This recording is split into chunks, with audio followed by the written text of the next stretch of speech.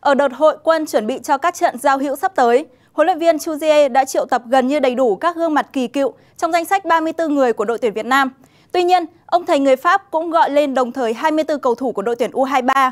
Trong buổi chia sẻ thông tin với báo chí diễn ra sáng nay, huấn luyện viên Chuzier cũng đã thẳng thắn cho rằng không danh giới nào giữa đội tuyển quốc gia và đội tuyển U23 trong đợt hội quân lần này.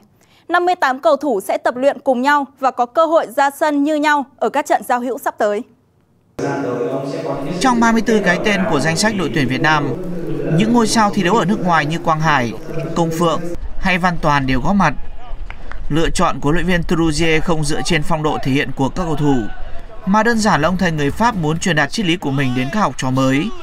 Đây cũng là cơ hội tốt để Quang Hải và Công Phượng tìm lại sự tự tin, bởi suốt một quãng thời gian dài vừa qua, cả hai đều không được ra sân tại câu lạc bộ. Quang Hải không xứng đáng có tên trong đội hình đội tuyển quốc gia và tôi cũng có thể nói về trường hợp của Công Phượng cũng như vậy. Và ngoài ra một số cầu thủ được thi đấu nhiều trong màu áo câu lạc bộ tại V-League, mặc dù họ được thi đấu nhiều, nhưng phong độ và thể hiện của họ cũng không tốt. Tuy nhiên thì tôi vẫn muốn gặp Hải để làm thế nào để khích lệ và củng cố tinh thần hơn cho cho Quang Hải bởi lẽ là đối với tôi thì Quang Hải là một cầu thủ rất quan trọng để tạo ra sự cạnh tranh, ông Truzier cũng đã quyết định cho các cầu thủ U23 tập luyện cùng với đội tuyển quốc gia. Vị huấn luyện viên 68 tuổi này cũng không có sự phân biệt nào về chuyên môn giữa hai đội. Điều đó có nghĩa là cơ hội ra sân trong hai trận giao hữu quốc tế gặp Hồng Kông, Trung Quốc và Syria của 58 cầu thủ là như nhau. Tôi muốn tạo cơ hội tối đa cho một số lượng rất là lớn các cầu thủ. Đối với tôi thì 58 cầu thủ trong cả hai đội hình lần này thì đối với tôi không có danh giới nào giữa đội tuyển quốc gia hay là U23 Việt Nam cả. Tôi dành sự tôn trọng chung, quan sát chung, đưa ra những thông tin huấn luyện chung với tất cả nhóm cầu thủ này.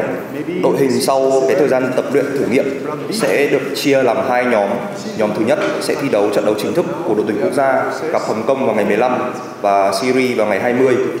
Nhóm thứ hai gồm các cầu thủ còn lại sẽ thi đấu hai trận đấu gặp Công an Hà Nội vào ngày 14 và Hải Phòng vào ngày 17 đội tuyển Việt Nam sẽ có trận giao hữu gặp Hồng Kông Trung Quốc ngày 15 tháng 6 tại sân vận động Lạch Tray, thành phố Hải Phòng. Sau đó 5 ngày, thầy trò huấn luyện viên Trujillo sẽ có cuộc đối đầu với đối thủ chất lượng hơn là đội tuyển Syria tại sân vận động Thiên Trường, tỉnh Nam Định. Đây được coi là hai trận đấu ra mắt của ông thầy người Pháp trên cương vị huấn luyện viên trưởng đội tuyển Việt Nam.